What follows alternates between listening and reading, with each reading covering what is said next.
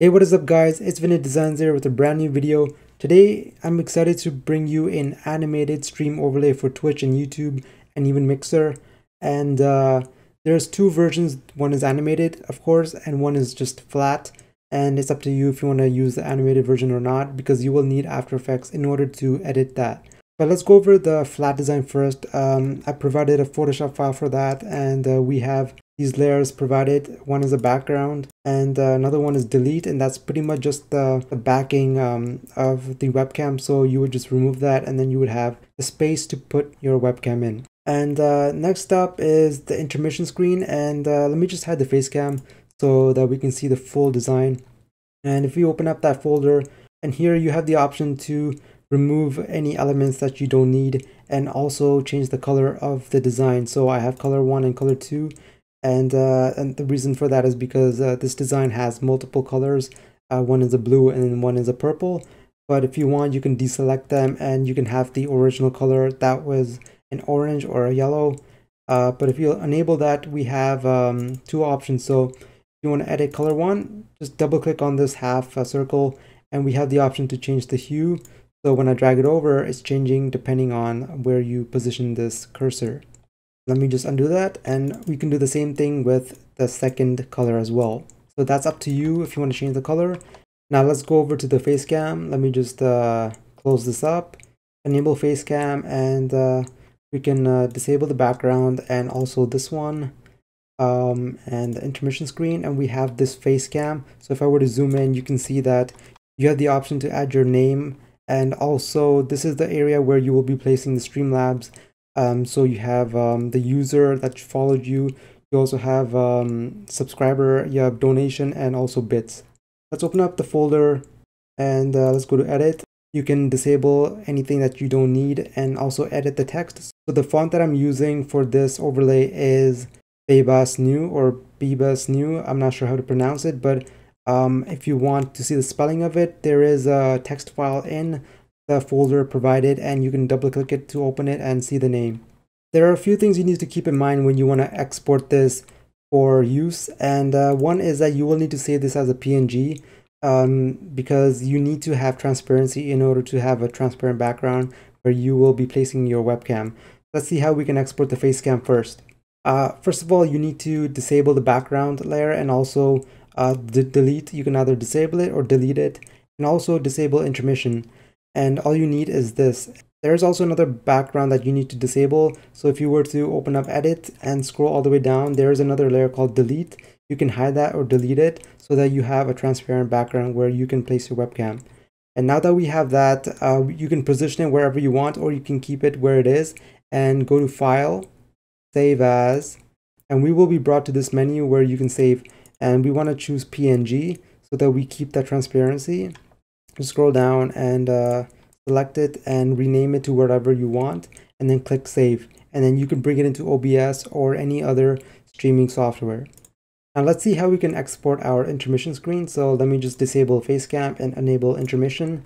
So for the intermission screen, you can enable the background back uh, because uh, we have this mask that just pretty much cuts out a square or a rectangle in this webcam frame so we don't need to worry about that. But make sure to again save it as a png so again go to file save as and select png and then save it out and then import it into streamlabs or into obs and that's pretty much it. If you have further questions you can leave it in the comment section below. Um, but let's go over for the second part. If you are interested in the animated version let's go over to after effects. So you can see that we have two layers uh, one is for the face cam and one for the intermission. And we want to export these two individually again. So let's disable the face cam first and see how we can edit this. Um, so if you want to edit the individual layers, we need to double click this uh, thumbnail and it will open up another tab. So we have um, the option to change the color. So um, you can use this hue and saturation control to move this circle and change the color to whatever color that you like and uh, we also have another intermission and background. So um, the background uh, just keep there. And uh, also the individual frames and uh, settings for the text.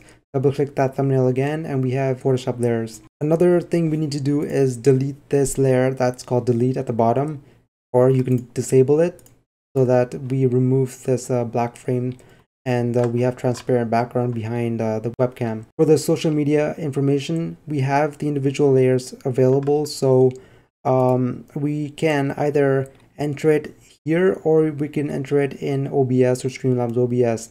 Um, so if you want to add it here, I'll show you how to do that. And you need to find the text icons or the ones that say your name. And uh, you need to edit this using the text tool. So select the text tool at the top and click and drag to select the text, backspace to remove and enter your own name over here. So that's how you customize uh, the text for social media. And the text for intermission is fixed. You can't uh, edit that um, but you can edit the individual social media names so you can put your own name there. Now let's go back to this tab and now you can see that the background for the webcam is uh, gone and we are ready to export this out. So let's go to main again.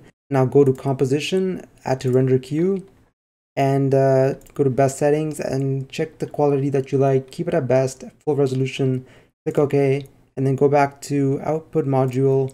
This is where you choose your format so just keep it at QuickTime and uh, choose video output so that the video gets exported. There is no audio, so don't worry about that. And let's click format options and uh, just keep it at animation and then click OK and click OK again. And then let's go to output 2, choose this. And then we have the option to save it out to whichever location you want and then name it as well. And it will save out as a MOV and uh, you can later on convert it to a different file if you like and just click save and then hit the render button to export it out. Now let's see how we can export the face cam. So let's go back to main. Let's disable intermission and enable face cam. Now again, the same thing, we need to go into the face cam. So double click that layer. Now we have another layer called layers. Double click thumbnail again. And we are brought to the Photoshop layers.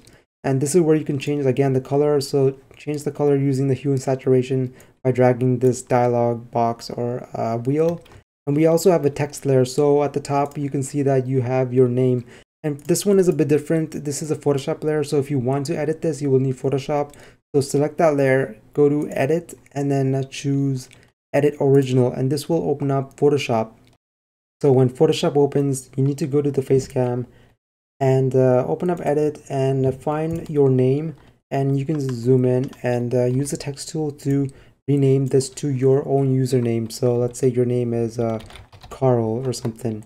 Edit that and you can also change your font. So if you do want to change it, you can do it here. Uh, but this is the name of the font, Bebas Neue. And uh, you can just click that check mark to edit and then uh, save it. Make sure to save it. Control S or Command S and then go back to uh, go back to After Effects and your name is edited automatically. So you can see that it's Carl. Um, right now you, it's kind of pixelated but um, when you do export it out it will be HD and uh, and that's pretty much it. That's how you edit your name.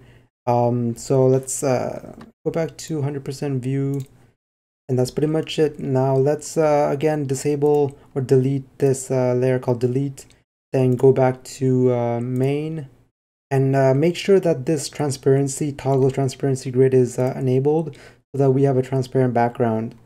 And uh, that's it. Now we can go to composition add to render queue. And uh, again do the same thing. Go to best settings and uh, choose best full resolution. Click ok. And then go to output module.